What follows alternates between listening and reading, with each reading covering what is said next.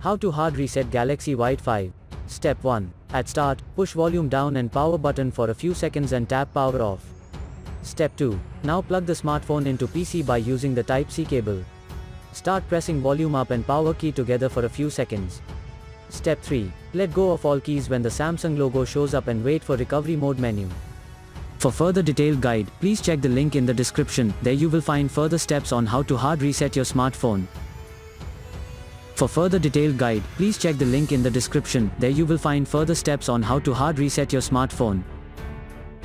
For further detailed guide, please check the link in the description, there you will find further steps on how to hard reset your smartphone.